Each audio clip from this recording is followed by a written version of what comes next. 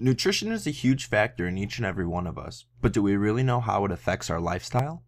We asked some of our students here at Eastview High School some questions about nutrition. Let's hear what they had to say.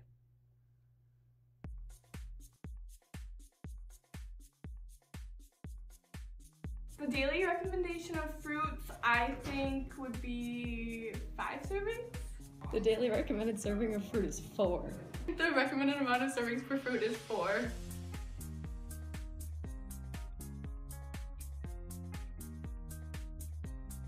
Think the healthiest fast food restaurant would probably be Chipotle. With moderation, like don't eat it all, of course. The healthiest fast food place is Subway. I think some of Subway's options are healthy, but I think a majority of them aren't. Well, I guess depending on what you get, Subway's pretty healthy.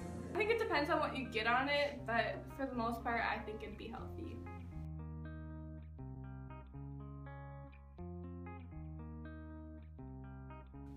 Eat two servings of vegetables on a daily basis.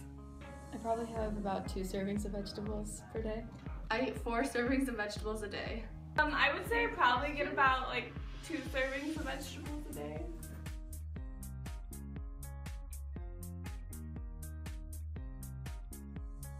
Isn't My Plate like a government website or something with servings?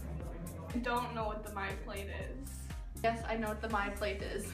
My plate is like the plate that is like a visual of how much of the different servings of everything.